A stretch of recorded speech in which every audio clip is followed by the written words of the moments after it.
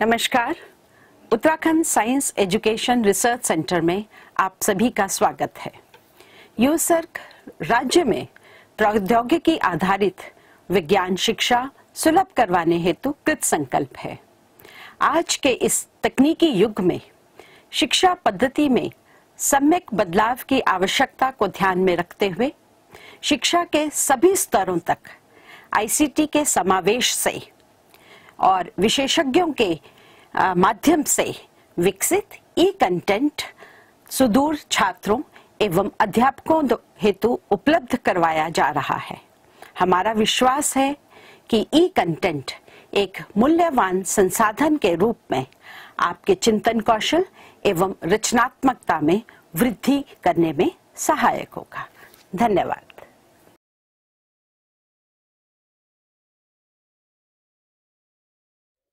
अब आ जाते हैं हम एक और यहाँ पे तरीके के प्रश्न में, जिसमें हमें सिद्ध करना है और फिर से आप देख रहे हैं कि दो ही हमारे पास चर पद हैं और फिर से घात में घन हमें मिल रहा है। तो ये जो प्रश्न है वो सिद्ध करने का है।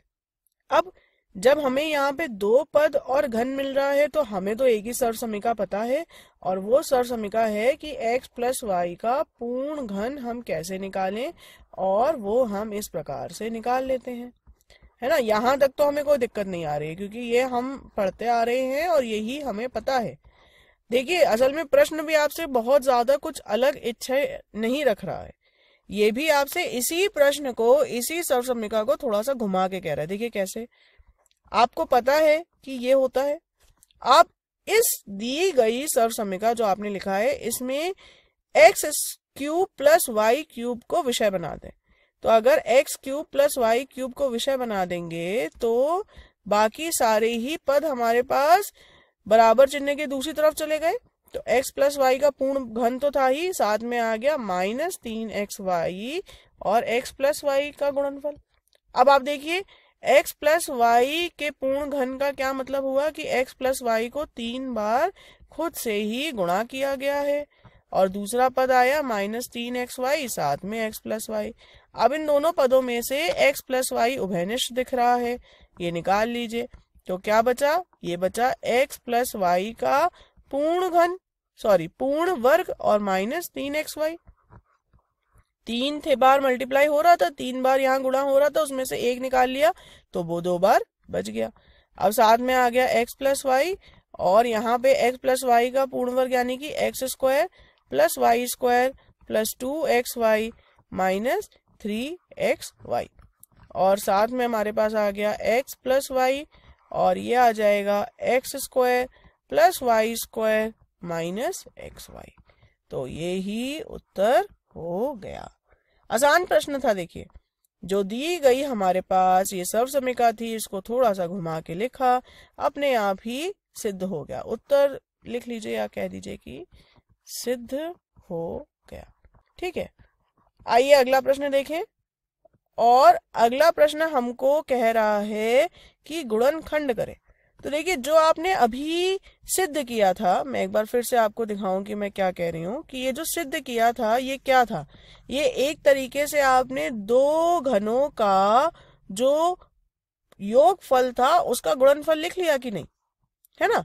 तो इसी बात को यहाँ पे प्रयोग करेंगे कि अगर हमारे पास दो पद हैं, और दो पद इस बार मान लेते हैं कि ए और बी हैं और इनके घन है, उनका योगफल है और इसका आपको गुणनखंड करना है तो हम क्या लिख लेंगे? ए प्लस बी और साथ में हमारे पास आ जाएगा a square minus a b plus b square ध्यान दीजिए कि जब हमारे पास a cube plus b cube आ रहा है तो माइनस चिन्ह आएगा और जब a cube minus b cube आएगा तो a minus b a square plus a b और प्लस बी स्क्वायर आ जाएगा। तो जब प्लस होता है तो यहाँ माइनस आता है, जब माइनस होता है तो यहाँ प्लस आता है। ठीक है? अब इस बात का सिद्धिकरण आप एक बार स्वयं से उसी वाली जो सरसमिका हमने दी थी, उसी के माइनस चिन्ह वाली सरसमिका को प्रयोग करके कर लीजिए।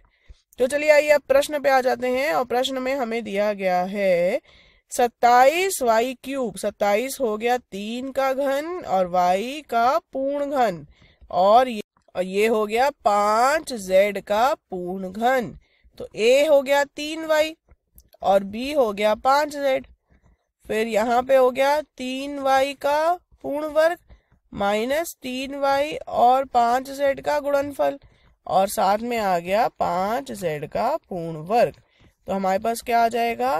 तीन वाई प्लस पाँच जेड और साथ ही आ गया नौ वाई स्क्वायर माइनस पंद्रह वाई जेड प्लस पच्चीस जेड स्क्वायर। तो जो दिया गया हमारे पास यहाँ पे पद था, जिसमें दो पदों के घन का योगफल था उसका हमने गुणनखंडन कर लिया।